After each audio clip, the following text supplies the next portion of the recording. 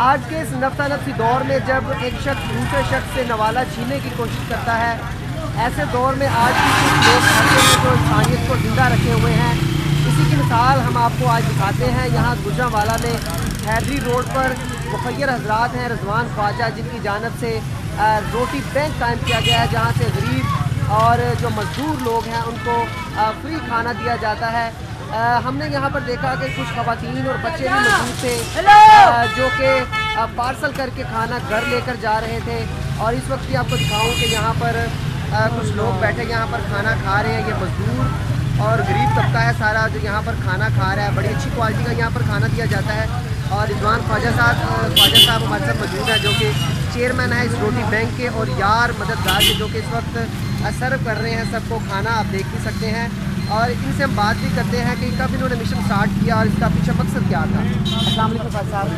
کیسے ہیں آپ؟ ٹھیک ہے بڑا اچھا آپ نے مشن اسٹارٹ کیا کھانے کی خدمت کا کب یہ اسٹارٹ کیا تھا اور کیا خیال آیا کہ یہ دو ہزار سترہ سے ہم نے اسٹارٹ کیا اس کو اور ہمارے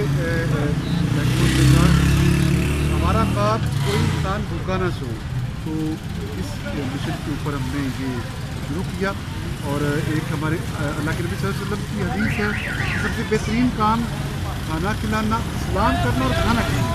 وہ وہ ایک بڑا خوبصورت تھا میرے لیے۔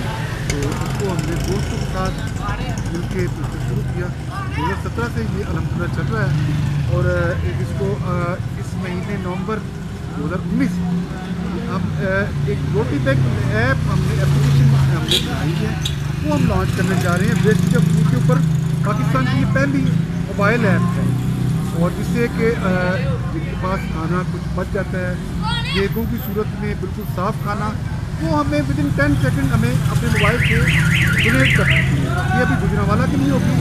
اس کے بعد ہم آہستہ آہستہ پاکستان کی تو ہم دو ہزار بیس میں ہمارا ایک پروجیکٹ ہے. یہ دو ہزار بیس تک ہم اس کو دس روٹی بینک کی برانچز بنانا چاہتے ہیں گجرا والا۔ ماشاء اللہ تو سر یہ بتائیے گا کہ ڈشز کیا ہوتی ہیں؟ ہفتہ وار کس طرح سے کھانا دیا جاتا ہے؟ کیا کیا بنایا جاتا ہے؟ ایک ایک ہفتے میں ایک دفعہ چاول ہوتے ہیں اور دو دفعہ گوشت ہوتا ہے اور دال اور چنے۔ یعنی یہ مینیو ہے اور اس کو ہم یعنی صفائی کا بڑا خیال رکھتے ہیں۔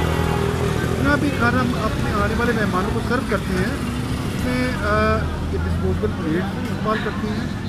فلٹرڈ پانی استعمال کرتی ہیں، فلٹرڈ پانی استعمال کرتی ہیں۔ اور ایک بات میں کہہ رہا ہوں کہ یہ کوئی عام وہ جو ایک ہوتا ہے نا، دسترخوان ٹائپ، وہ نہیں ہے۔ یہ ایک پروجیکٹ ہے ہماری ان ماؤں، بہنوں اور بچوں کے لیے جو گھروں میں بیچاری بھوکی ہوتی ہیں، جن کے خامن یا کسی وجہ سے ان کے پاس کھانے کے لیے کچھ نہیں ہوتا۔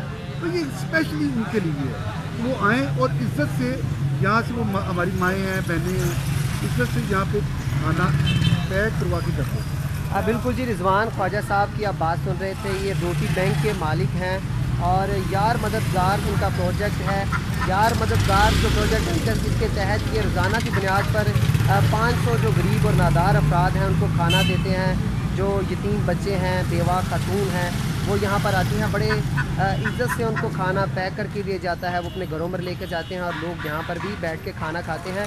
اور رضوان خواجہ صاحب نے ہمارے ساتھ شیئر کیا ہے کہ ان فیوچر یہ ایک کھانے کی ایپ بھی بنانے جا رہے ہیں، روٹی بینک اس کا نام ہوگا، جو لوگ شادی بیاہ کی تقریب ہے جن کا کھانا ویسٹ ہونے کا خدشہ ہوتا ہے وہ اپنا کھانا ان کو اطلاع کریں گے اور یہ کھانا جو ہے وہ روٹی بینک میں لا کر اور جو جو مستحق افراد ہیں ان تک پہنچائیں گے۔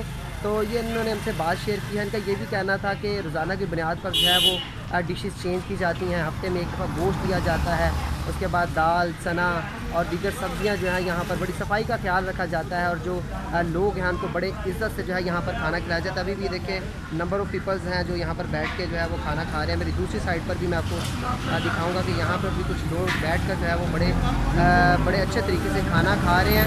یہ ہم نے آپ کو دکھایا ہے کہ یہ روٹی بینک ہے یار مددگار کا یہ پروجیکٹ ہے۔ جنہوں نے شروع کیا ہے، رضوان خواجہ، ان کے چیئرمین ہے۔ اور انہوں نے ہمیں بتایا کہ ان کا ویژن ہے کہ گجرا والا کو ہنگر فری شہر بنانا ہے۔